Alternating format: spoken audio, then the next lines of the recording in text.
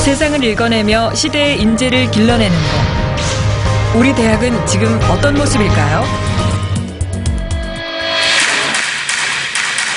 지난 3월 독일에서 기쁜 소식이 전해졌습니다. 세계 3대 디자인 어워드에서 한국팀이 최고상을 수상한 것이죠. 놀랍게도 수상자는 대학생들. 쟁쟁한 프로 디자이너들을 제치고 골드상을 차지해 세계적인 이슈가 됐죠.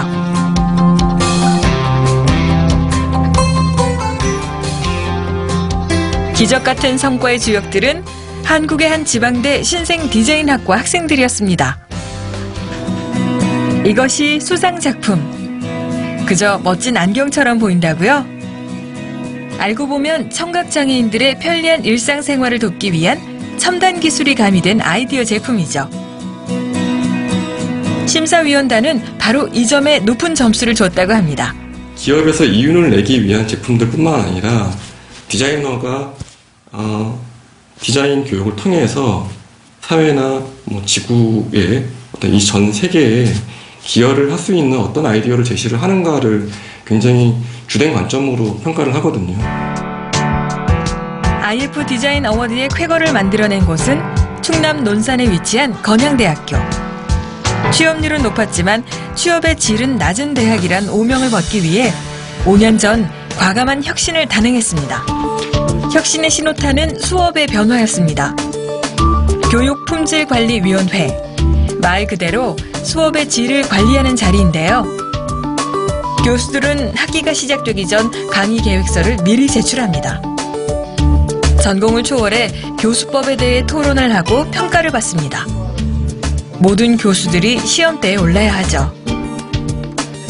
무엇보다 교수진 절반 이상을 실무 출신으로 구성해 가능한 일이었다고 합니다. 모든 제품이 전자기술 하나만 이루어지지 않잖아요.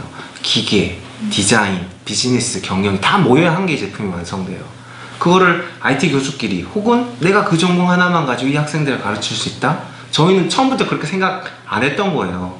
기업에서 평생 그렇게 살아왔으니까 아 그러면 디자인 교수님하고 같이 수업을 나눠보면 어떨까? 경영학 교수님한테 비즈니스 기회가 있을까요? 라고 물어보기 시작을 한 거예요. 그러면 당연히 어, 교육과는 같이 협업 좀 합시다. 네, 이번 시간에는 그 상위 대체 타입 교수님은 모든 수업을 활동 중심 수업으로 진행합니다. 그래서 수업 전 학생들이 참고할 영상도 직접 만들고 있습니다. 휴학생, 재학생, 졸업생 있을 때 이 하위 수업을 위해 또 하나 새로 만든 직함도 있다고 합니다. 바로 기업의 CEO입니다. 유튜브에 이렇게 올라갑니다. 그 CEO의 실감을 느끼려면 이걸 봐야 CEO의 실감을 느껴요. 그래서 어, 이렇게 사업자 등록증이 있고요. 대표자이 김디현으로 되어 있습니다. CEO 같지 않은 CEO입니다, 사실. 어엿한 간판까지 단 학내 기업. 디지털 콘텐츠를 제작하는 이곳의 직원은 8명. 전부 김두현 교수의 학생들입니다. 대대적인 수업 혁신을 통해 취업률은 물론 취업의 질도 높아졌습니다. 기업에서 필요한 내용을 가르치고 그 학생들을 데려가는 취업 예약제를 시행하고 있습니다.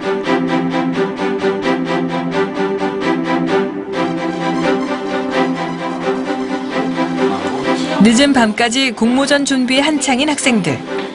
하고 싶은 일을 하다 보니 밤샘은 기본이 됐죠. 저는 안 계신 줄 알고 아이들 웃기게 하려고 이거 이런 것도 입고 왔는데 이런 게 막 나오고 그러면 안 될 것 같아요. 뭐예요? Advice. Advice. 그렇습니다. 교수님은 학생들을 이끌어주는 조언자죠. 너도 생각했지? 가리고 찍어. 실무 전문가 출신의 교수지만 풍부한 경험을 나눠주되 학생을 가르치려 하진 않습니다. 아, 아이들이라기보다는 솔직히 같은 디자이너로서라고 생각을 하거든요. 제가 경험이 많은 것 뿐이지 아이들이 좋은 생각이 있으면 저보다 더 좋은 디자이너로 생각을 하거든요. 그랬어? 그래서 항상 이야기할 때 다 아 그래도 얌체하서 같은 디자이너 입장에서 생각하고 그렇게 생각하니까 저도 배울 게 많고 뭔가 이제는 밤에 자면은 너무 한심해요.